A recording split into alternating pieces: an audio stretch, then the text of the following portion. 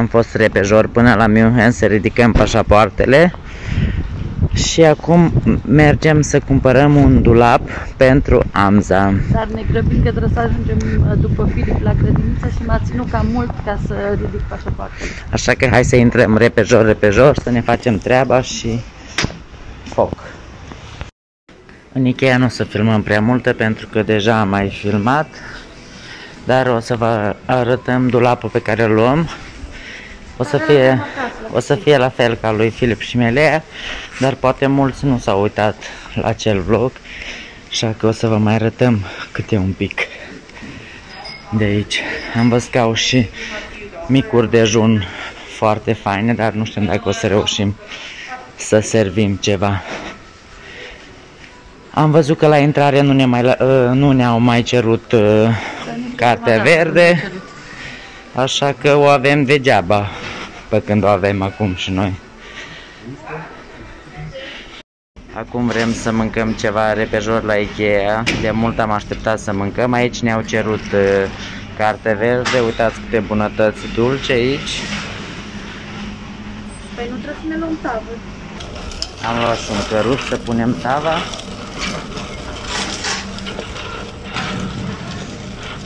Am o pune aici. Și astea unde le pun? Ia încă o tavă să pună.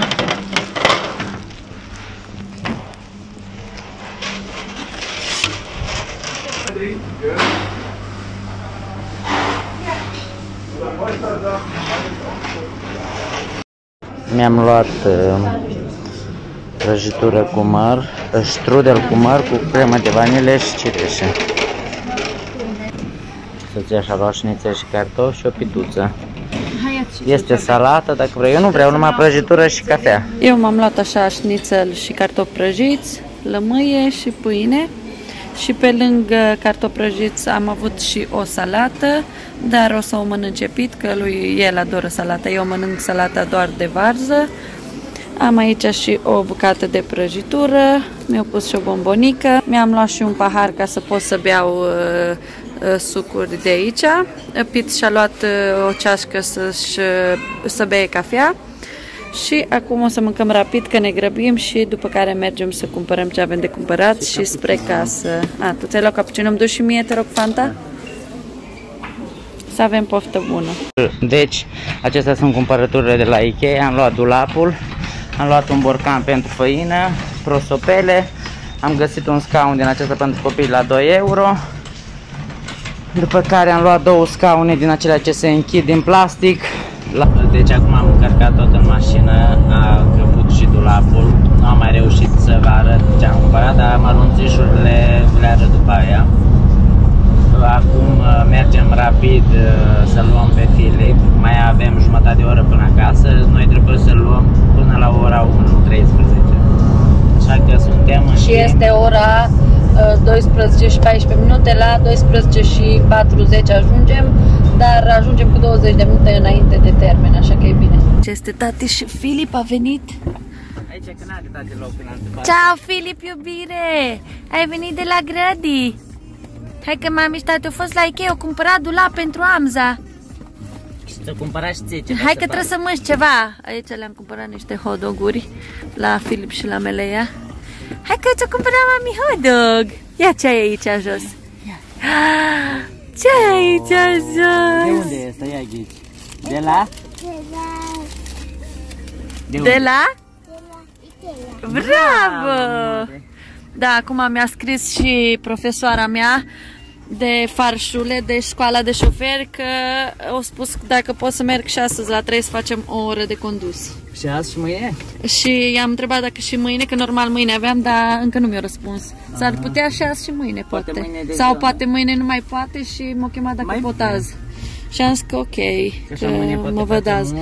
Acum este ora 1, 1 fără 10 minute, la ora 3 trebuie să merg numai bine, mergem acasă, trebuie să-mi fac neapărat o baie. Da. Că e părul nespălat. Și atunci mă pregătesc să merg la școală, astăzi conduc, abia aștept. Este a treia oară, adică nu, este a doua oară că merg, dar prima dată am făcut două ore, adică o, o lecție constă în 45 de minute, eu am făcut două, adică am făcut 90 de minute. Și pe aici am condus eu. Bravo. Așa că astăzi o să merg să conduc din nou, abia aștept. Chiar mi-a plăcut la prima lecție.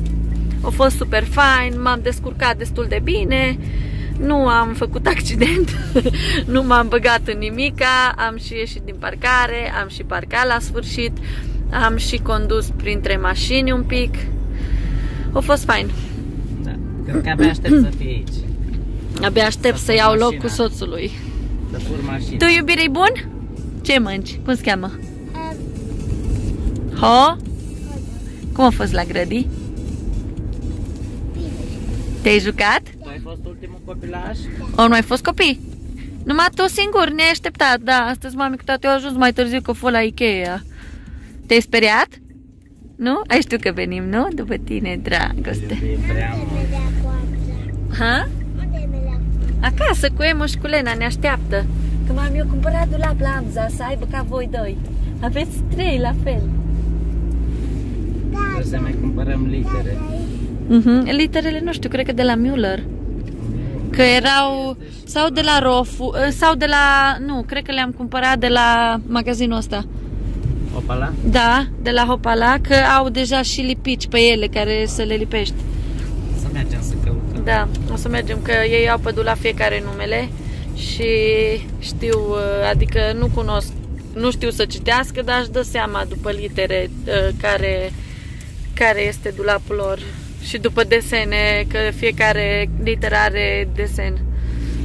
Și-ai? Am, ne faci poftă cu hot dog, șmechere. Deci am cumpărat acest borcan din sticlă pentru făină. Aici niște patru prosopele pentru bucătărie. Borcanelul are și un capac din acesta din lemn și aici are silicon pentru a fi sigilat bine.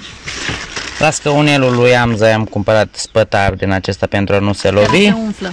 Se umflă și gata, acesta este, face parte din dulap. Și, a, Și aici scăunelul, aici este scăunelul acesta la 2 euro. Le-am găsit în reducere și l-am luat.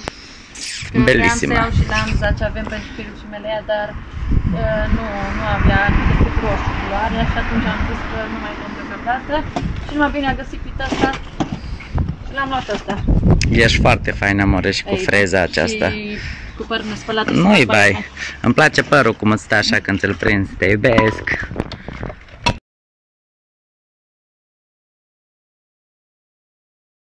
Uite așa arată borcănașul meu cu făină, deci este superb, îmi place extrem de mult. Și acum o să-l pun aici lângă Thermomix. Și, și așa arată borcanul meu cu făină lângă Thermomix. Și îmi place că capacul se ia foarte ușor.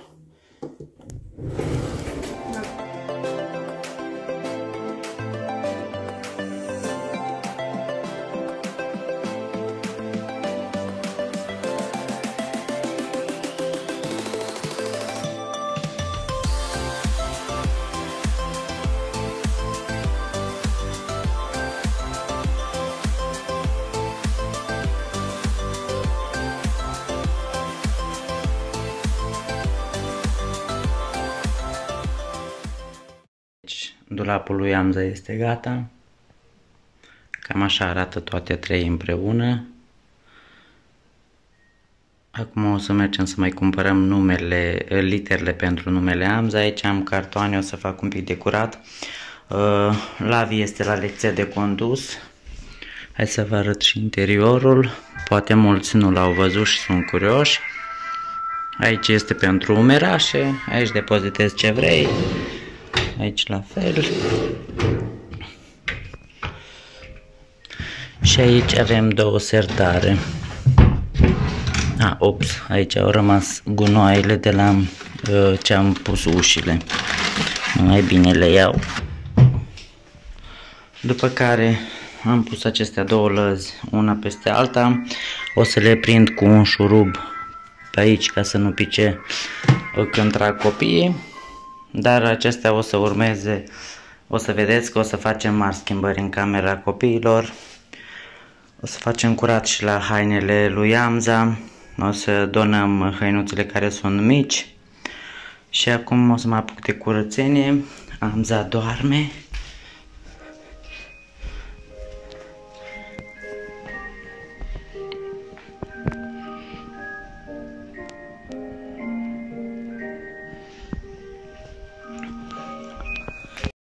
Amza doarme, m-a lăsat uh, să termin dulăpiorul lui.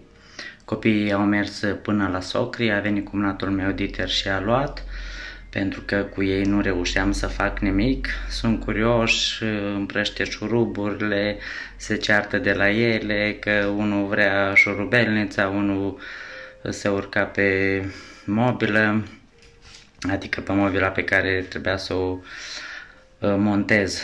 Acum o să strâng cartonul și după aia mai vedem ce facem. Între timp dați un like pentru că ne ajută foarte mult. Lavi, Lavi deja a început să facă curat în hăinuțele lui Amza, să le transferăm aici. Dacă se aude zgomot să știți că este aspiratorul.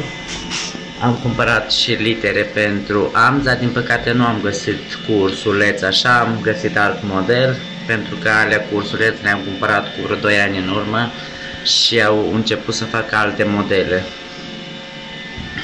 Deja a început să aranjeze. Aici are șosețele, căciul, șepcile, uh, aceste cârpe din bumbac care le folosește pentru când doarme sau ieșim la plimbare, babețele, suzete.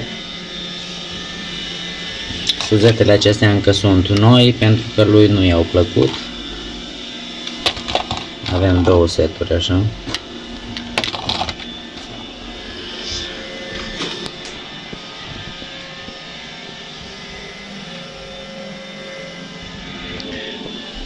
Acum o să ne apucăm să facem curat și la jucării.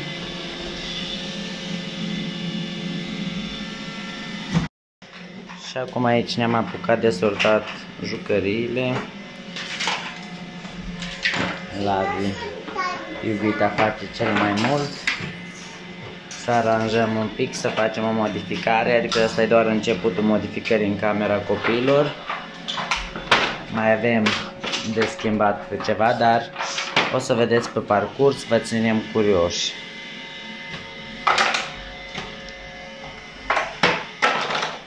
Melea, ce faci? Te joci cu Amza? Îl înveți animăluțele? Ia arată, ce animăluțe ai? Ce animăluță e aia? E ghepard? Și unde e văcuța? Uite aici el, lângă tine, tata. care e văcuța? Bravo! Amza! Ceau, tata! Acolo așa se pune brava. Acum s-a făcut un pic de curățenie și în camera, e un pic mai spațios. Acum am lăsat aspiratorul să aspire, jucăriile le-am pus pe pate, aceea arată un pic așa îngrămădit. Aici Melea a venit inspecția. Nu te filmează, tate, nu. Așa arată. Aici am făcut curat și în jucării. Am mai, am mai pus într-un sac cele care am crezut că nu se mai joacă ei și o să le donăm la Caritas. O să mergem acum să punem acești doi saci, sunt camioane, cărți, mai multe chestii și aici sunt mașinuțe, motoare, jucării cu minion, toate chestiile, mingiuțe. Așa că o să se joace cu cei ce mai au și încet încet o să mai facem poate o curățenie printre ele când vedem că nu se mai joacă cu ele și camera pare mult mai spațioasă acum și mai liberă. Și în sfârșit are și amza dulăpașul lui. De ce să scoatem și ușa? Pentru că copiii se joacă foarte mult în cameră și dădeau cu ușa și ne era frică să nu-și prindă cumva mânuțele să nu-și prindă cumva mânuțele, degetele, așa că mai bine să o scoatem, că ei oricum nu au nevoie de ușă, că și noaptea când dormim ușa este deschisă, așa o să aibă mai mult spațiu și suntem și mai liniștiți. Acum ne apucăm un pic să sortăm și hăinuțele. Aici am pus un sac negru și o să le dăm pe toate. Sunt toate în calitate bună. Ceea ce o să fie, credem că este mai spălăcit sau mai murdar, așa care sunt pete. Asta? Nu. pare bun încă. Da, asta pare bun.